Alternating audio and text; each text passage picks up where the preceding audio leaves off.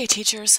I'd like to show you how to use Vocaroo, which is a website that lets you make audio recordings so that if you need to, you, you can record a spelling test or a quiz or a test, and you can share that MP3 audio recording in Google Classroom to the students in your class who need to have it.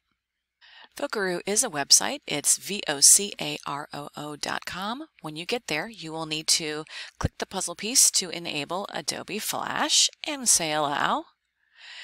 And it will also ask you for permission to use your microphone, and you need to allow that as well.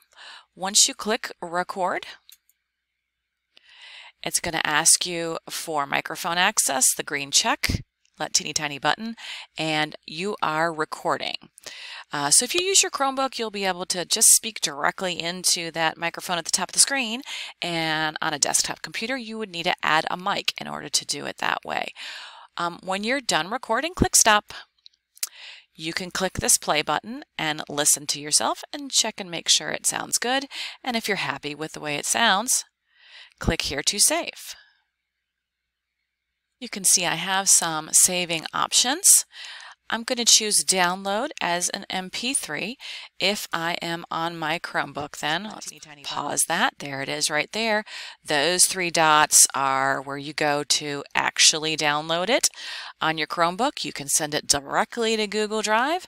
On a desktop machine, you'll need to do that extra step where you save it to the desktop or your H drive and then you upload it to Google Drive to have it be there.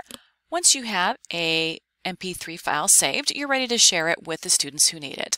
So I'm going to go to classwork and create, just like I share everything in Google Classroom, um, I can share it as a material or an assignment.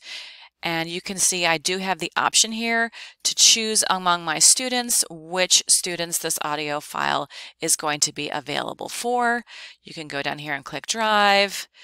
And if you go to your Recents tab, your Vocaroo recording should be right at the top. And you just simply need to click Add.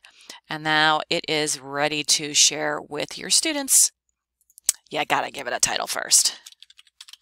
Now it's ready to share with your students and post in Google Classroom. All right, teachers, have a great day.